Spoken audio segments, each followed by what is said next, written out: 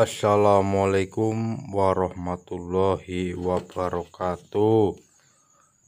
Ketemu maning karo Inyong lur. Untuk hari ini acara Inyong pengen melihat bagaimana caranya membuat layang-layang. Tapi sebelumnya jangan lupa di subscribe dulu ya lur. Matur nuwun Oke, kita lanjut saja ke TKP. Nah, ini dia pengrajin layang-layang yang ada di desa kami, Lur. Setiap musim kemarau tiba, Bapak Sohib ini selalu membuat layang-layang. Selain untuk hiburan, juga bisa untuk penghasilan. Karena selalu saja ada yang pesen layangan lur model layangan yang gede seperti ini namanya gapangan. Ciri khas layangan Jawa Timuran lur yuk kita lanjut. Lihat caranya ini nih guys caranya guys. Hmm. diterik matahari sambil dicenjet-cenjet ya. Biar matang hasilnya. Samakannya nggak kendor. Sambil mantap. Sama kan sama plastik apa? Sama plastik kresek seribu rupiah. Satu lembar. Yang bagus jangan yang buat belanja sarimi hmm. rasanya yang bermerek yang bagus yang ini nih guys di biar kering kering kering kering sedikit hmm. biar nanti kalau kendor bisa kita tarik lagi biar nempel kenceng ini ukuran layangan ukuran berapa ukuran meter? 2 meter 10 cm kalau untuk dijual berapa? Kalau seukuran ini komplit ada sendaren suara keras. Hmm. penuh dengan motif 100.000 lur. 100.000 100.000 murah ya? komplit. Murah, murah. Ya bikin sendiri nggak bisa? seminggu belum paruan seperti ini hasilnya burung mesti mabur. Yang sudah terjual 75.000 hmm, berarti nego dong itu kan mot tanpa motif oh. masih putih masih hitam polos belum hmm. ada motif ini nantinya satu warna pak nanti pasti dikasih variasi hmm. tergantung request hmm. gambar Jokowi oke okay. gambar manuk oke okay. hmm.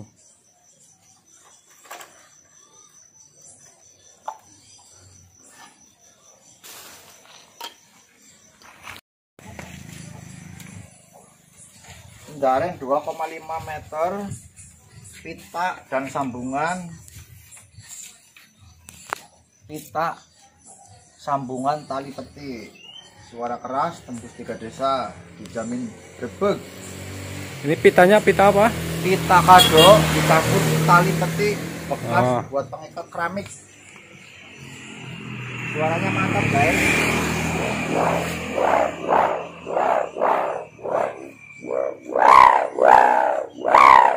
Berarti Berarti ini pita dirakit sendiri apa? Kita racikan sendiri. Racikan sendiri ya.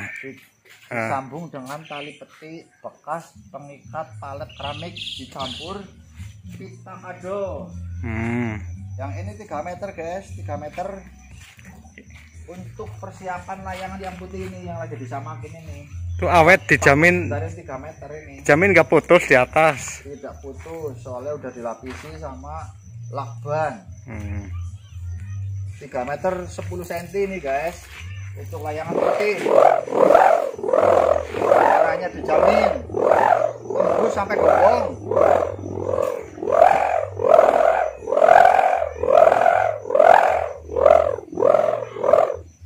berapa suaranya sampai berapa kilometer 5 km 3 desa tembus guys. Oh. Kalau tengah malam kalau orang lagi pada tidur. Mantap.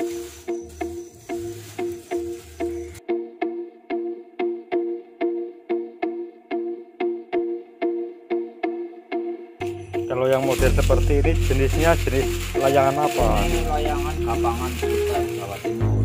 Kapangan layangan Oh. Ini ada dari masing-masing daerah ada ciri khasnya. Ciri khas kita main layangan Jawa Timuran. Kalau Kebu- Kebumen kayaknya dulu ada namanya penanggalan apa ya? Ada tanggalan. Kan seperti ini modelnya. tapi kan dia kecil. Iya. Bedanya di bokong ya.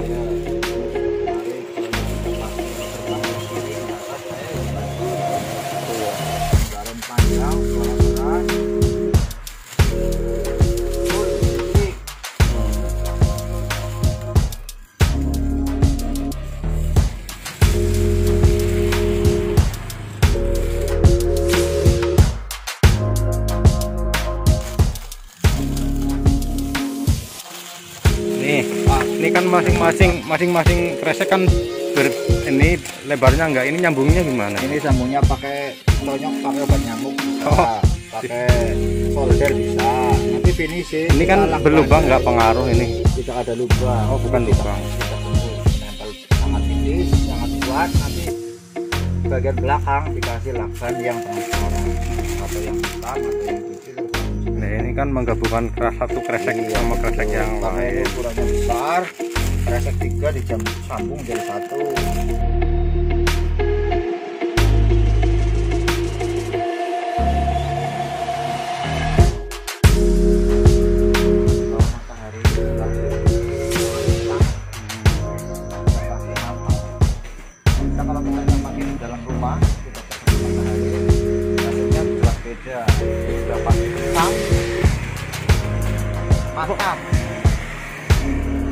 Berarti kalau mau nyamakin layangan harus posisi matahari ya posisi ada matahari. Iya. Nah, ya.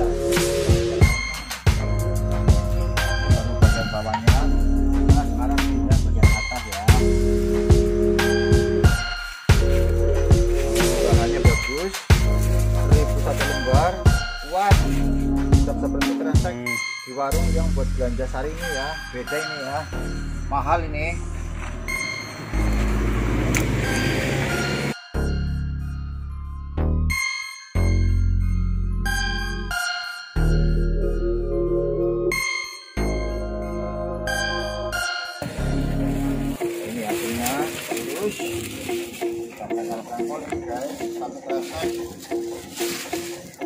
kira-kira 60 cm kali 35 cm satu lembar ini ukuran 2 meter membutuhkan kresek 4 atau 5 lembar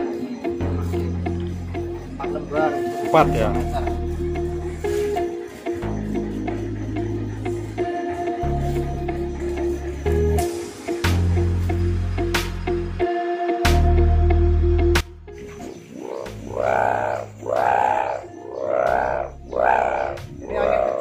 Keras gini. Nanti kalau di atas, wah, tembus gonggong ini guys. Tembus. Ini an, motif burung hantu ini dijual ini rangka Hmm. saja 50.000 Rangkanya saja. Rangka saja 50.000 ini. Belum disamak. Bambunya bambu betung super kering.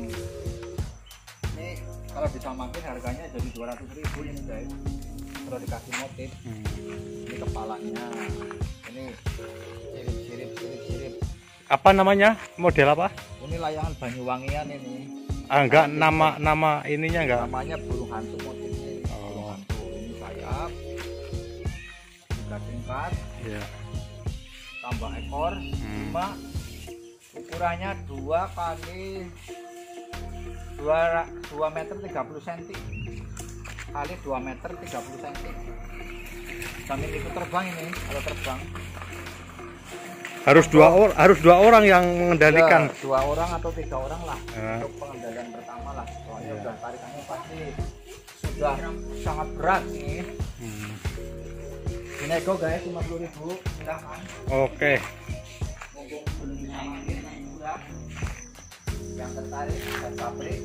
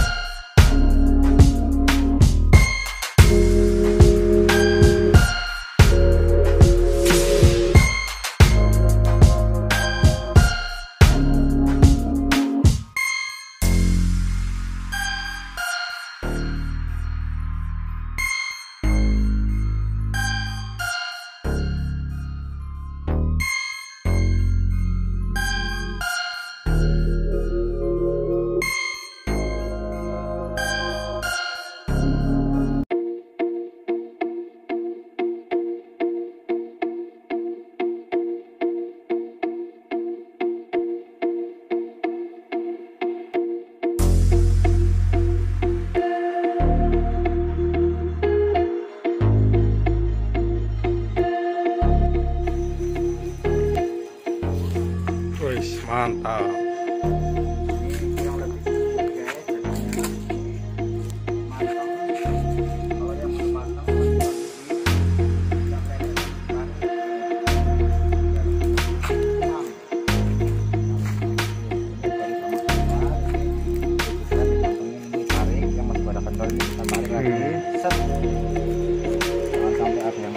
Ini nantinya dilipat sini. Iya ini nanti dilipat lagi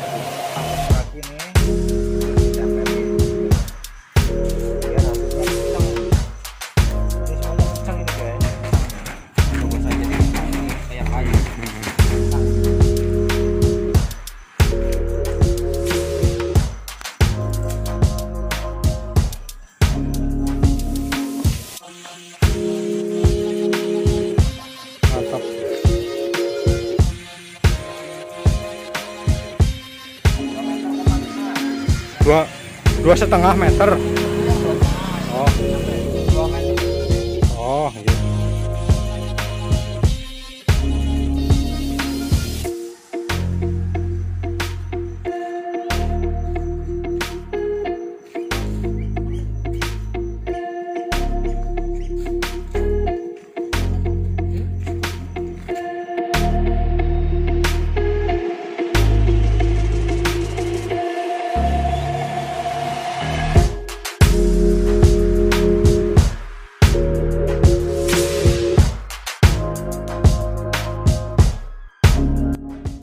sampai ketemu lagi di lain kesempatan ya lur.